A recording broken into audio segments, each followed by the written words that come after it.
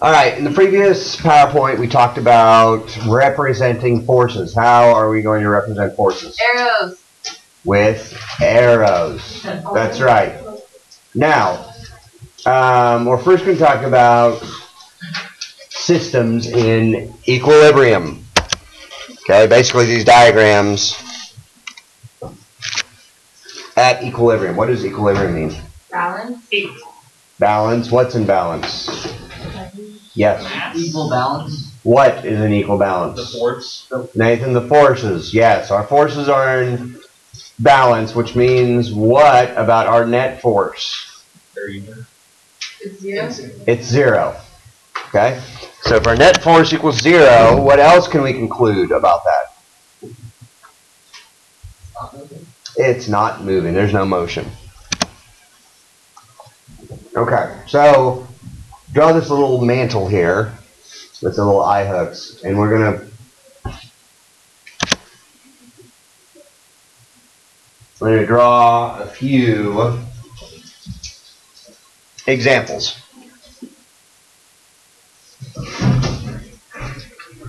And then label them with our forces.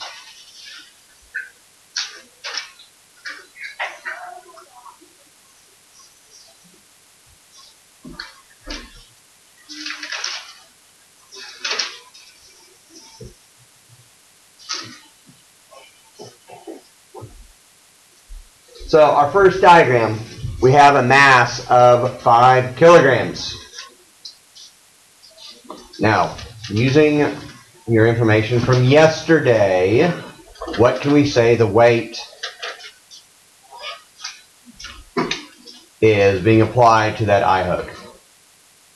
Chris, what do you think? 50 newtons. How did you get 50 newtons? By multiplying by Earth's gravity. Fantastic, which is 10. So we are going to say there are 50 newtons applied to that hook. And I'm drawing that arrow to represent that 50 newtons. So this is going to be our baseline.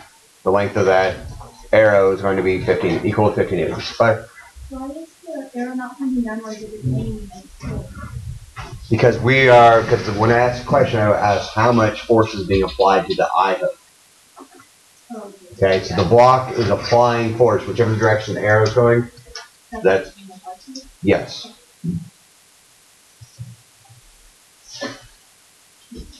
Okay, our second diagram.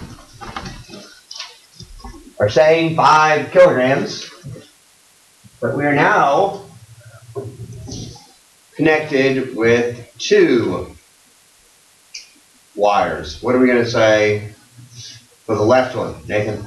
Um, it would be 25, 25 newtons. 25 newtons, that's right.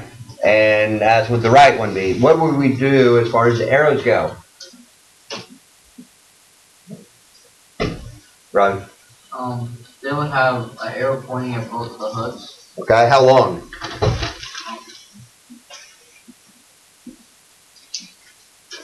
What do you guys think? If these are scalable, Half the length. Half the length of 50 newtons. half the length, that's right. So if we are saying that our baseline arrow, our 50 newton arrow is the length of the string here, then our 25 newton arrow has to be half that length. So if we're going to hang a heavy object, say a mirror, it'd be better to hang it with from two points, right? Than just one point. So you can share the load of that mirror. All right, next up.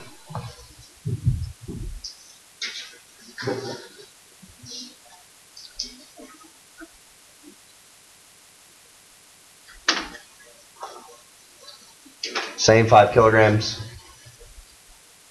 same 50 newtons, but now it is distributed differently.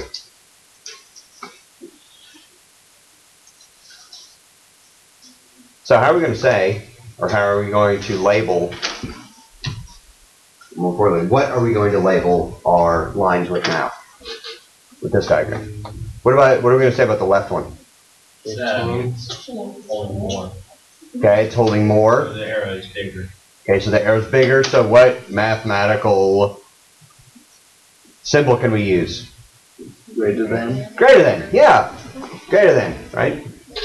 So we can say it's greater than what? It's greater than 25, and the right one's going to be less than 25. Because we don't know for sure exactly what those are. Um, we could figure that out through trigonometry.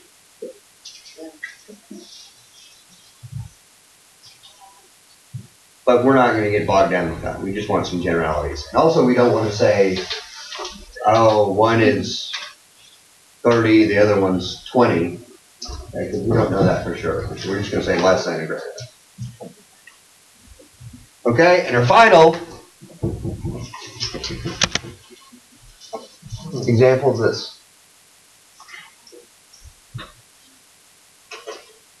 What is the force on the left side going to be? Negative zero newtons. Okay, so it's slack, so it's going to be zero newtons. Now, you know, technically we could say, oh, there's the weight of the string, right? But that's negligible. So we're not even going to count that. So the right side is going to still, just like the first example, carry the full burden of 50 newtons. All right, now, when we actually draw these diagrams, we also need to label what type of forces they represent. Okay, so we need to talk about what the force categories are. What type of forces are there? Well, there's, what did we deal with yesterday? Weight, force of weight. We have a whole myriad of other forces Gravity. which we're going to talk about. Well, force of weight is due to gravity, right? Right, so talk about force categories. Our first one is our force weight, which is due to gravity. Now, on Earth, force we take whatever our mass is, multiply it by 10.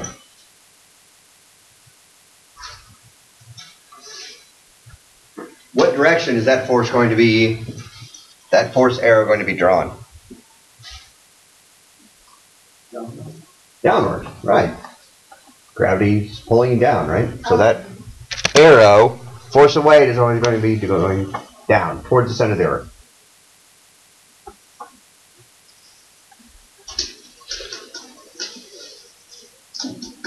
So right now, as you're sitting in your chair, there's a force of weight arrow pushing down against the chair, right? So why are you not falling through the chair? Nathan, This the chair's legs are able to support the weight and gravity. Okay. So the chair is pushing back, right? With that same amount of force. Anyone know what that force is called?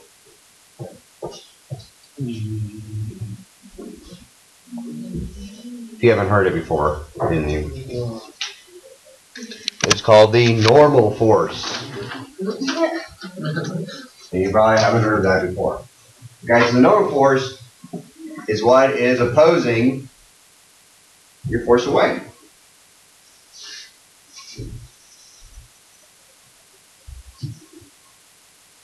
And that normal force is going to be perpendicular to the surface that the force of weight is pushing out.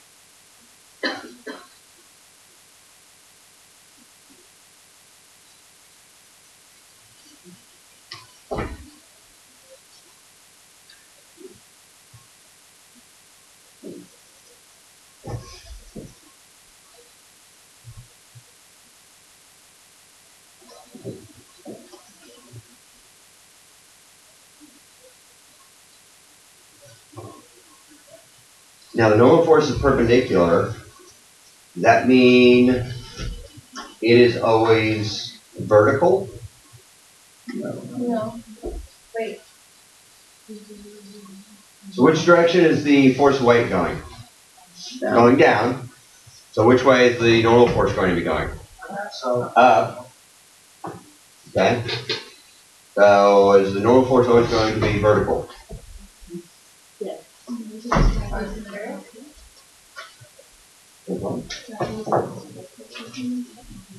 Oh, okay. So perhaps the force of weight isn't the only thing, only force that the normal force is pushing against. That's pretty soft. So what happens if I'm pushing against this wall? The wall's pushing back, Wall's pushing back. So what is that force going to be pushing back? uh, what you're putting on the wall, And which force is that? The normal. Force, right? So in this case, the normal force is horizontal, right? It's not vertical. But it is opposing a pushing force and not the force of weight. All right, next up. Actually, before that, let's uh, look at this diagram. Of course. We have a green cylinder. Maybe it's a can of peas. Yum. And peas are the. Ever. Maybe they're a can of mashed peas. It looks like that that color. Yeah. Um, if I'm going to draw my force of white arrow, what direction? Force of white arrow? Down. Down. So if I draw my normal force, that's going to be. Up, opposing it, or else that can of peas would fall through the table, right? Now, when I draw that normal force, what do I need to do to make sure that corresponds to this force of weight arrow? It should be the same size, right?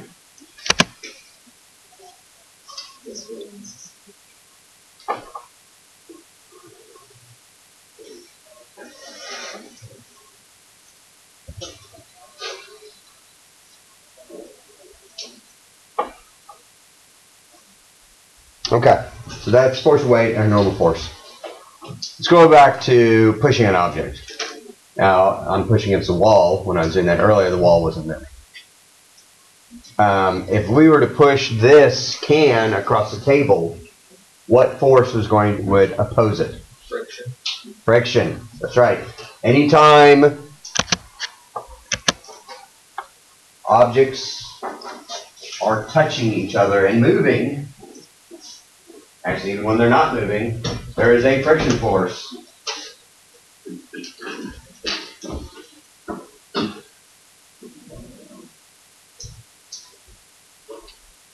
Now, which direction is the friction force going to go? Um, for, um, horizontally where the object is. Okay? More importantly, it's going to go opposite direction of the motion. Okay? Which direction they're being pushed or pulled. Because this is an opposition force.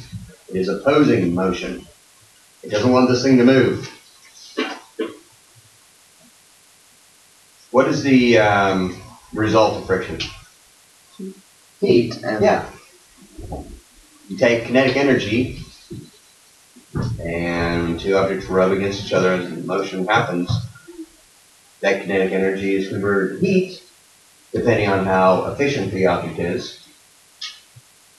Eventually, all that kinetic energy is converted to heat, and it's no longer moving. moving. So, if I push this, if I were to draw arrows for push and friction on here, what do I need to make sure happens? the heat. If I have a push arrow and a friction arrow, what do I need to make sure? What happens if they're the same size? That's what I want. Then it's not going to move. What do I need to make sure? the friction. The friction needs to be smaller. The push needs to be larger for there to be motion, right? If the friction's larger, or if they are the same, then there's not going to be any motion. Because the friction, you will not have overcome that friction. Yes. We draw this one too?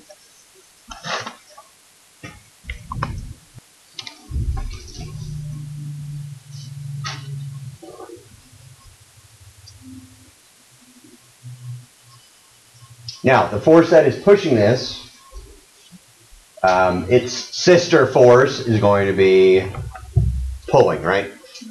So pushing and pulling is our next series of forces.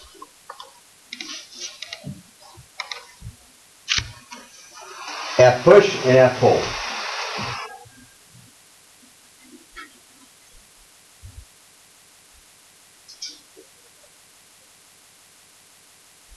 Those are pretty self-explanatory, right?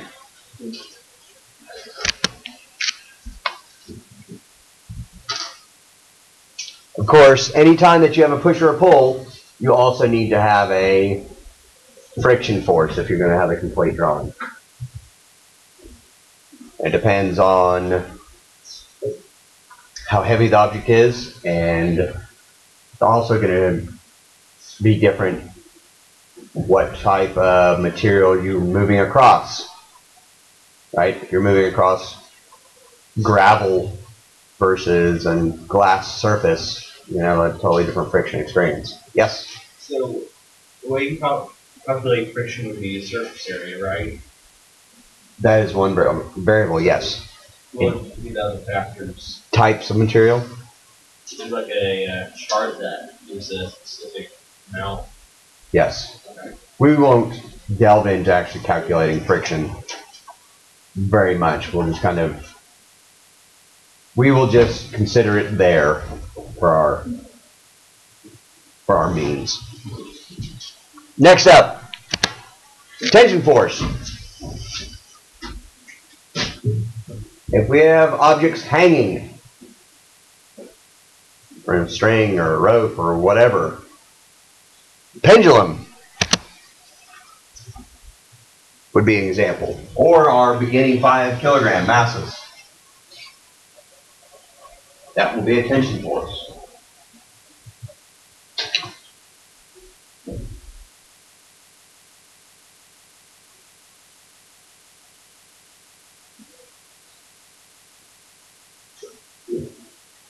And this goes back to what Claire was asking. The arrow points towards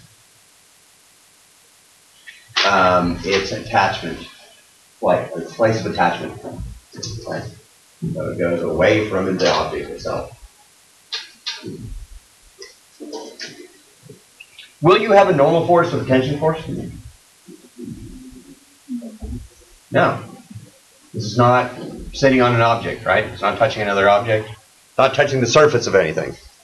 So there will be no normal force. Um, air resistance.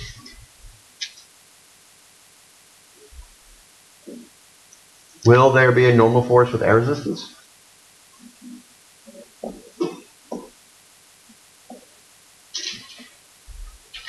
No, it's just flying through the air, right? If we have a guy, um,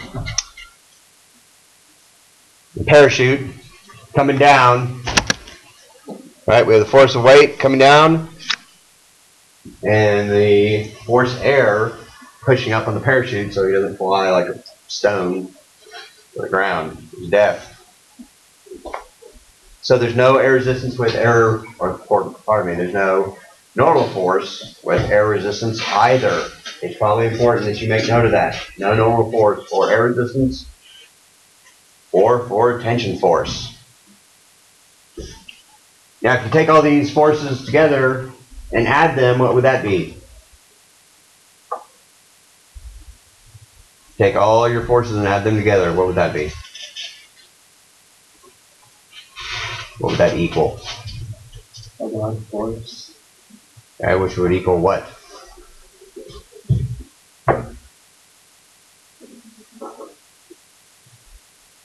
What do we say about equilibrium?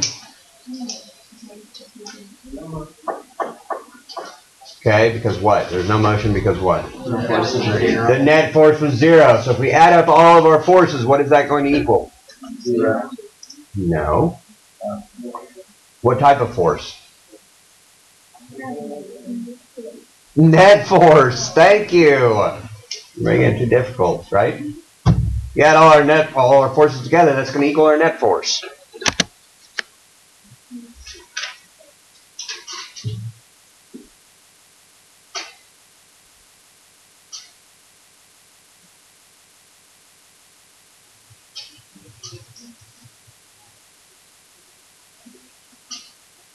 In our equation,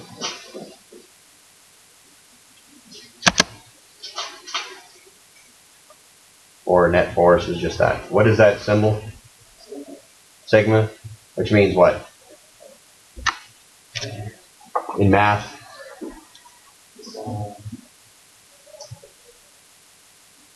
Just means the sum.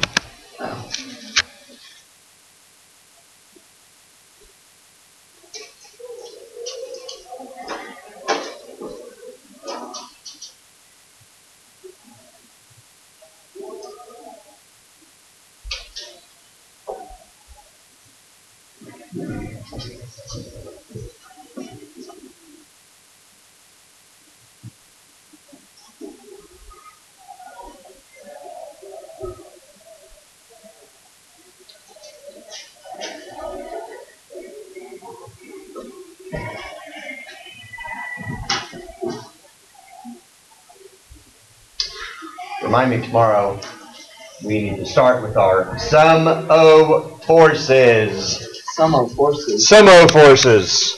Sumo forces. Sumo forces. Um, all glues put up, right?